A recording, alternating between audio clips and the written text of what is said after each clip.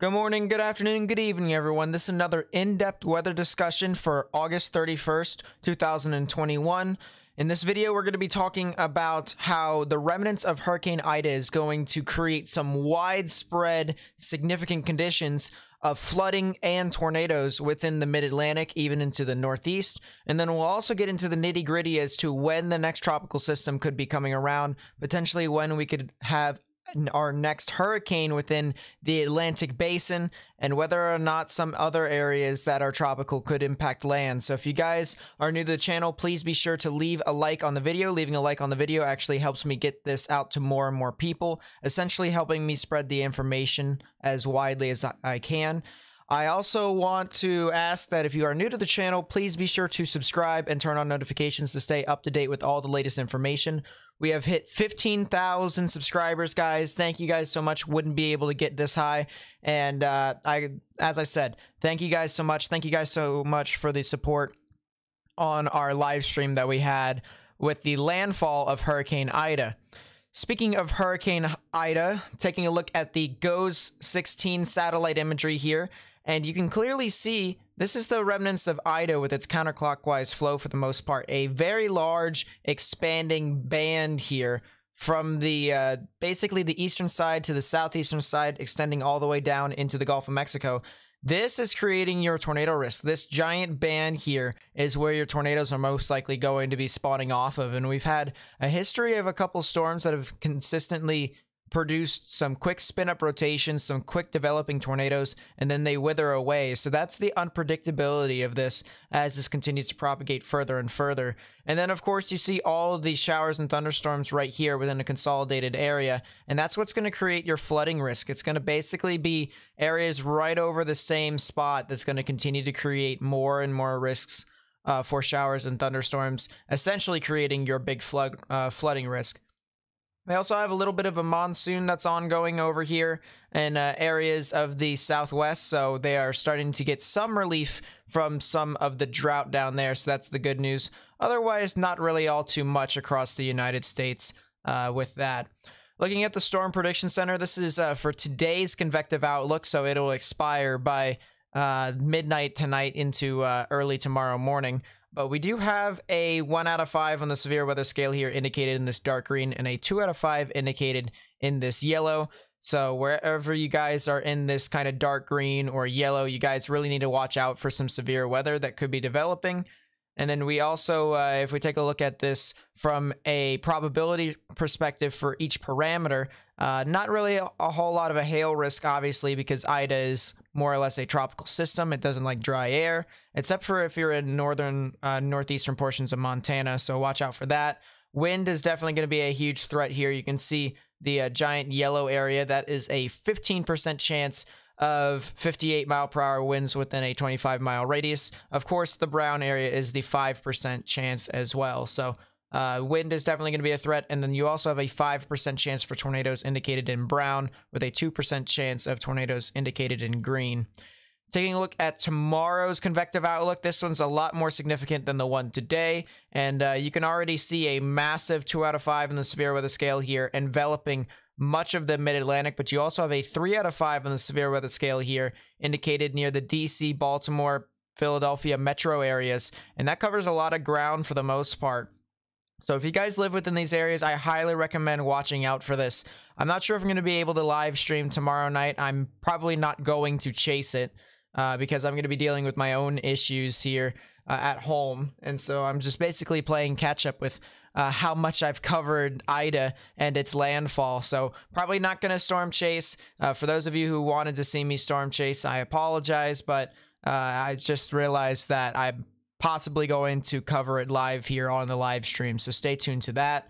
Looking at the hail parameters, if you're in the Dakotas as well as in Nebraska, you do have a 15% chance of one inch sized hail or larger within a 25 mile radius. So, uh, typical supercells over there with strong damaging winds, although the damaging winds will most likely be attributed to the mid Atlantic with a giant 15% chance for 58 mile per hour winds within a 25 mile radius. And then you also have a big tornado risk here, massive 5% chance of tornadoes within a 25 mile radius indicated in the brown. And then in the yellow, I don't know why they just immediately put yellow as a 10% instead of a 15%, but it is what it is with the Storm Prediction Center. 10% chance of a tornado within a 25 mile radius. Located in the following areas in Baltimore, DC, Arlington, which is around DC, Alexandria, which is also around DC, uh, Columbia, and then areas south of Philadelphia. So basically, Wilmington, Delaware. If you guys live over there, if you live in Dover, if you live in southern portions of New Jersey, really would want to watch out for that as this develops further and further.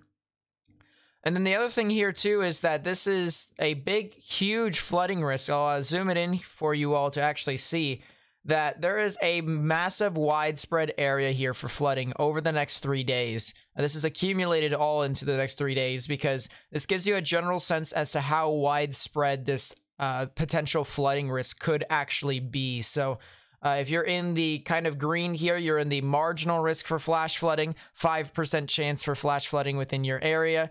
If you're in the yellow, you're in a 10% chance for flash flooding. That is a slight. If you're in the red, that is a 20% chance for flash flooding within your area. And then if you're in the pink, which uh, is a pretty significant, substantial area here, expanding all the way over from Morgantown, West Virginia, all the way through Harrisburg into uh, north of Trenton, into the northern portions of New Jersey, into the southern Hudson, uh, the Hudson River Valley, I should say, uh, extending all the way further into New Haven, Connecticut. If you're in those areas, you really need to watch out for a high risk of flash flooding, a 50% chance of flash flooding within your area. So, uh, definitely would need to watch out for this as this continues to move about.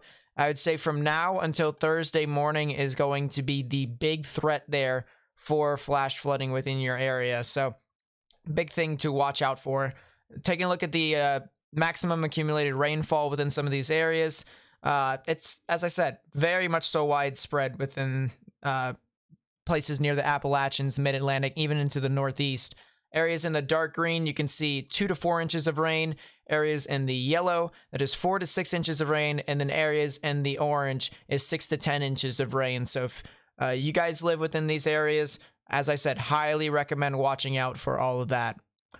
Now we're going to take a look over here at the NAM 3 kilometer model. Once the uh, tropical system is over land, it's actually uh, recommended to use models like these uh, compared to when they are about to make landfall. So uh, here we go with the uh, NAM 3 kilometer model on its approach and its uh, ascent through the mid-Atlantic into the Northeast. So here, if you want to take a look at the timings, look over here. This is in Eastern Daylight Time because I live in the Eastern Daylight Time Zone. So uh, lucky for you all. But here we go with the uh, model runs uh, moving about. If I can actually get this to start, and I will, here we go. There is already some showers and thunderstorms that are expected to move on through overnight tonight into tomorrow morning. Sure, it could be light at times, but that'll begin to accumulate. And that's the big thing there. It's not going to be just one storm that's done and over with. It's going to be a multiple round of storms. And by noon tomorrow, look at how significant some of these rain bands could be, especially in southern portions of Pennsylvania into northeastern portions of Pennsylvania, right along the border of the Mason Dixon line. Look at that. Significant amounts of heavy rainfall is expected with this storm, according to the NAM 3 kilometer. And as I said, this is just going to continue to accumulate, accumulate, accumulate. And this is going to be uh, pretty big in some of these areas. Uh, runoff off of the uh, main Appalachian Mountains could attribute to some significant flash flooding.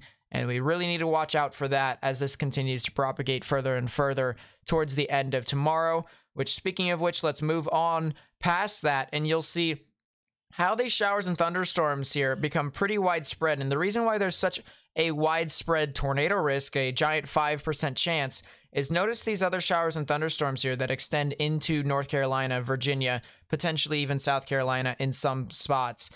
This right here is what's going to basically create your uh, giant tornado risk. And the reason being is because you have your general counterclockwise flow around Ida here and this outer band here is going to continuously create some of that spin. So you have wind coming down from the south at the surface, and then you also have wind coming from the north that's pushing Ida up to the north and east that is basically coming across like this. So what's happening is is it's creating a lot of this spin in the atmosphere, creating supercells or mini supercells, which are just strong thunderstorms in this instance. And uh, these strong thunderstorms could potentially produce tornadoes within some of these areas. Now, just because we have this setup doesn't mean that every single storm is going to produce a tornado.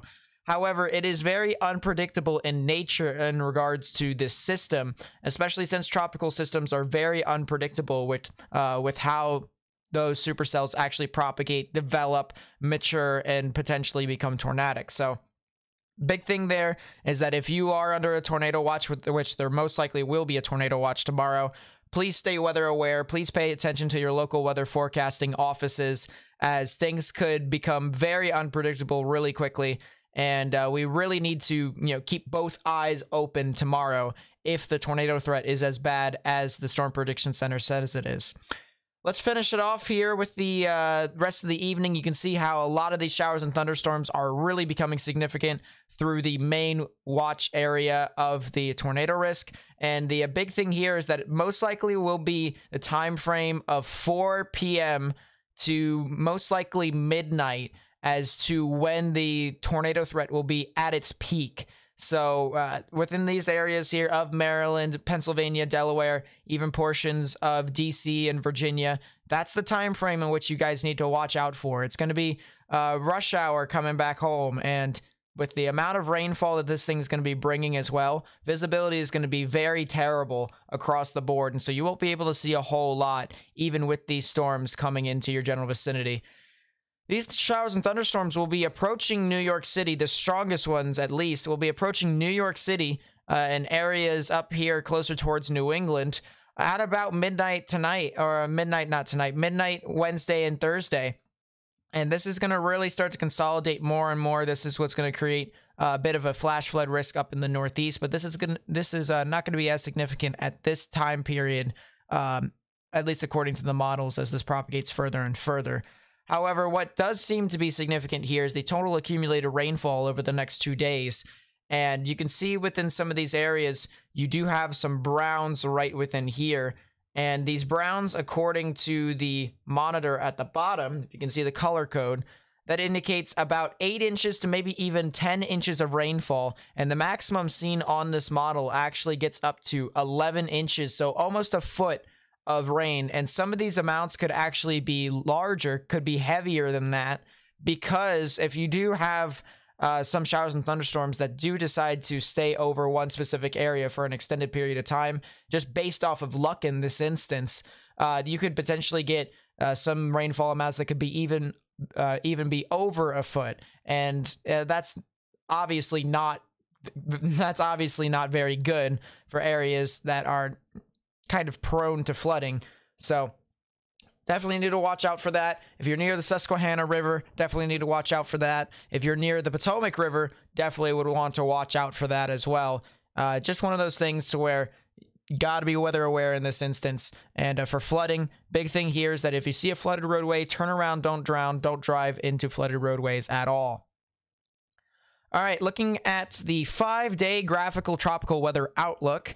And so we're uh, kind of shifting gears from a remnant of a tropical system to now potential tropical systems that could be impacting areas or even not impacting areas. I mean, we have tropical depression Kate right here, which was a tropical storm, but is heavily overshadowed by the obvious threat of Ida.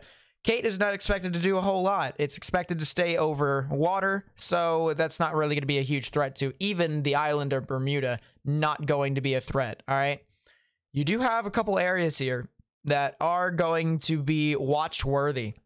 First off, you have Tropical Depression 12, which was recently designated, and that is expected to become a hurricane according to most models. Now, whether or not this will be able to impact land is a big question here as this continues to move about, but uh, it has already formed a tropical system next to the uh, Cabo Verde Islands. And usually, when you have storms like this, this typically uh, allows more time for this thing to consolidate and eventually form into a hurricane. And uh, most hurricanes, most famous hurricanes that you've actually uh, you actually remember, are typically attributed to uh, this. So definitely something to watch out for. uh, in the models. We'll take a look at that in a bit. And then we also have this disturbance over here that is in the Caribbean. And the thing of it is, is that as of right now, it doesn't have a huge chance of formation with it only have a 20, oh, geez, with it only having a 20% chance of formation over the next five days. But this is definitely something to watch out for because we hinted that there could be a potential for another tropical system to form after Ida. And there's uh, it's monsoon season over here in Central America, and these monsoon conditions can create a lot of showers and thunderstorms. And those showers and thunderstorms could even consolidate and form a tropical system like Ida. That's actually uh, how Ida originally formed. Was all those showers and thunderstorms, as well as a uh, a tropical wave that propagated forward, kind of just congealed into one and formed into one giant tropical system. So uh, whenever we see stuff like this, gotta watch out for the tropical system. Regardless, flooding is uh, possible within some of these areas here in Central America, as well as possibly even the Greater Antilles. So watch out for that.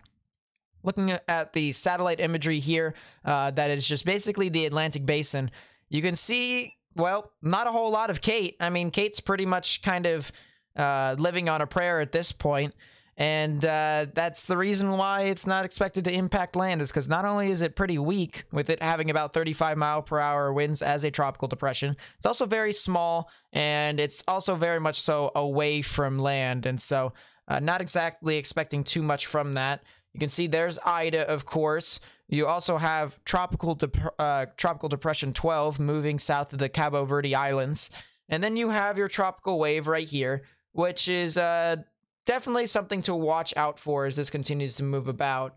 And uh, that area of interest could be something to really watch out for, especially if it propagates further northward into the Gulf of Mexico, because practically anything that heads into the Gulf of Mexico is really going to be a huge threat. All right, we're going to take a look now at the cyclonic vorticity from uh, basically 500 millibars, which is the mid levels of the atmosphere, a little bit above a mile uh, above the surface. Okay. Big thing here that I want you guys to pay attention to is the shaded areas. The shaded areas of orange and red indicate cyclonic vorticity. And so the more of that, the more red it actually is, the, well, the more organized the tropical system actually is. And therefore you have your most likely named tropical system, whether it's tropical storm, whether it's a hurricane, either or. The point being is, it's a tropical system. Another thing that I want you guys to pay attention to here is these wind barbs. All right. Uh, we'll talk about where these wind barbs are going to be heading off to eventually. But uh, just realize that if you see a wind barb that looks something like this, the direction of the wind barb in which the wind is heading from, uh, well, in this case, is going to be from right to left. And these little sticks at the end indicate how fast they actually are. So we'll talk about that there in a bit. But looking forward through this model run here from the GFS, we have a couple things to note here. First off, we have 12, which is uh, going to try and consolidate, but you also have this high pressure system right here. You can vaguely see it, but you have this general clockwise flow that high pressures typically attribute. And what this is going to do is this is going to steer it most likely into the Atlantic. And most models tend to agree with this uh, general act, if you will. And so that's the reason why if this tropical depression does form into a tropical storm, which for those of you who are curious, it could be Tropical Storm Larry, that's the next name uh, up, then uh, that's probably not really going to impact land a whole lot. But we also have another developing high pressure system that is basically going to form just to the east of Bermuda. And this could basically flip everything on its side, more or less. We have this other tropical system or the remnants of uh, I should say Kate, more or less, that's trying to, you know, hang on. It's in very unfavorable waters at the moment, but it's getting steered south with all this uh, clockwise flow for the most part.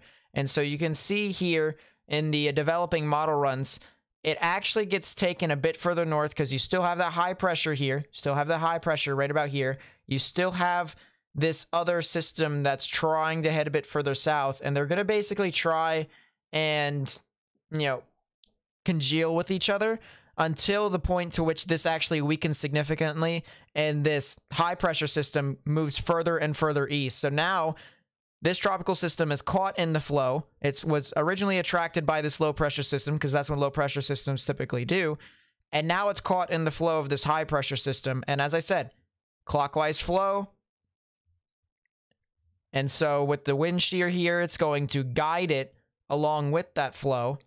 And it's going to carry the system more or less into open waters, similar to what happened with Kate. Now, we also have another tropical wave that occurs over here. And this is pretty interesting because you have your high pressure now that's up here, but this high pressure that was originally steering Kate is not exactly all too existent. So what will this tropical wave do as this propagates forward? We don't know. That's definitely going to be something to watch out for as this continues to move about, but uh, definitely something to watch out for with that. And then another thing too here to watch out for is, uh, in hindsight, me looking at some areas in the Gulf of Mexico, we also have this trough that's going to be moving on through here, attributing with Ida. And typically what happens with these troughs uh, down here into Florida is that sometimes they become stationary. You have a lot of showers and thunderstorms that form over the same exact area, and they form these little remnant lows. And in this instance, uh, we have this developing low pressure system that sits around Florida, which could potentially be creating some showers and thunderstorms within your area.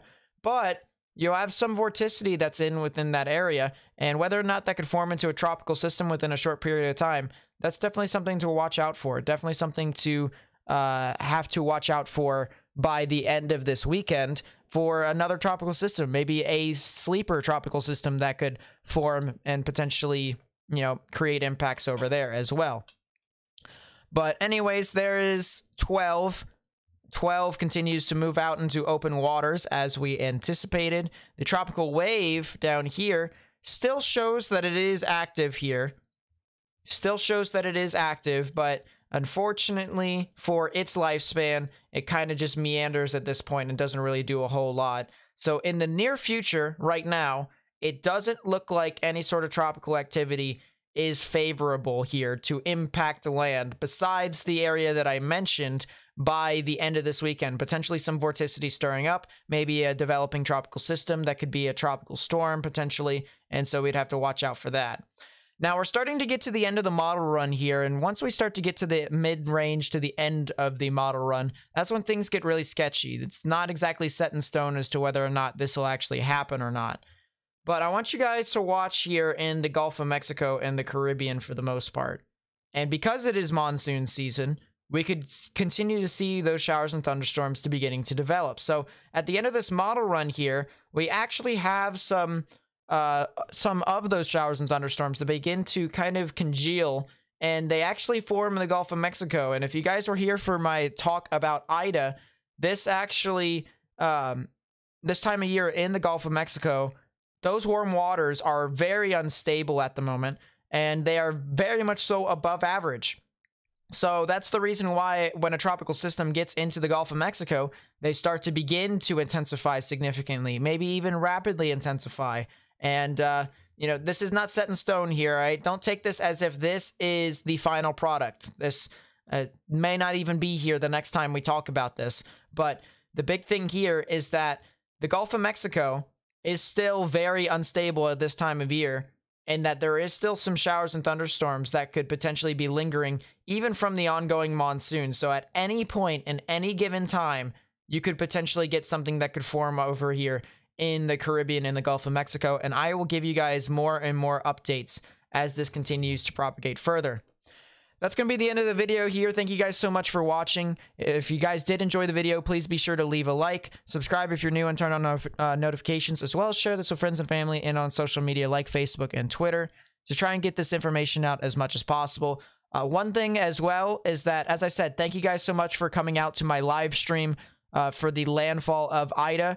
I want to mention here real quickly that if anyone wanted to see the um, see what Matt, our storm chaser, was experiencing live in the system. He did upload his video today, uh, today, so I will put a link to the video in the description down below. If you guys want to go watch it, feel free to do so. It is uh, quite uh, quite interesting and quite excessive as to what he found over down there in Louisiana. So, as I said, as I said, thank you guys so much for watching. Please stay safe. Have a good one. And yeah, as I said, thank you guys so much for watching. See ya.